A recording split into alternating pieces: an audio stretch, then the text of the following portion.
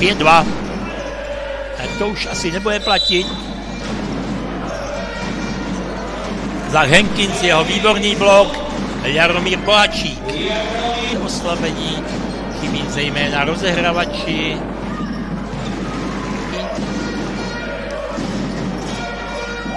A viděli jsme výnika.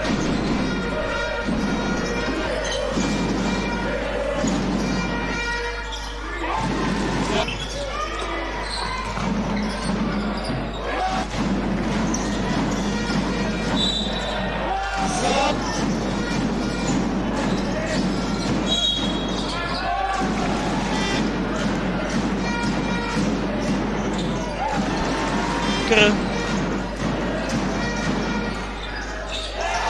A trojku proměnil Cindrzu. Hosté nestřídají. A viděli jsme krát.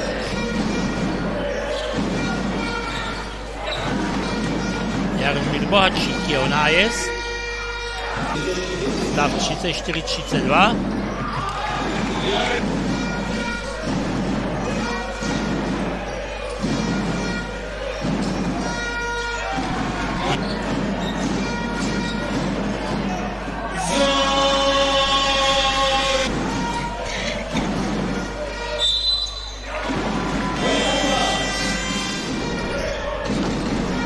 Při úzké rotaci hostí je docela problém.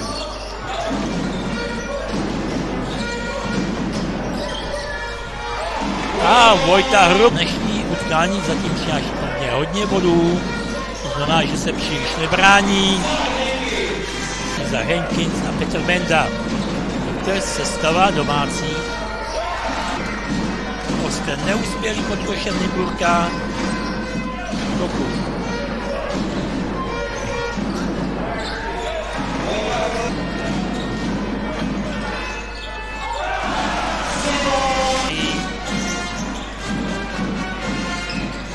ta hruba střílí. Další útok domácí. Se, ale vyšla. Čísla si další body.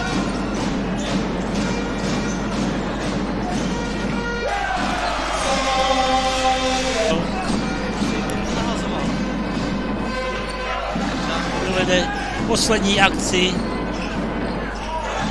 kterou zakořitě sérii 80 vítězství s domácím soupeřem. Připsal si 16 bodů na své konto, stav 88, 70.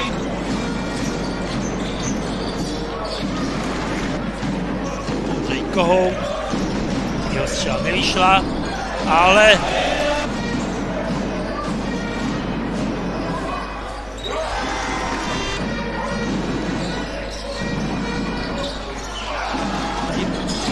stranách. Zajímá.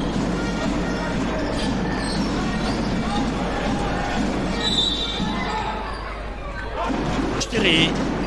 Je stav prakticky půl minuty před koncem.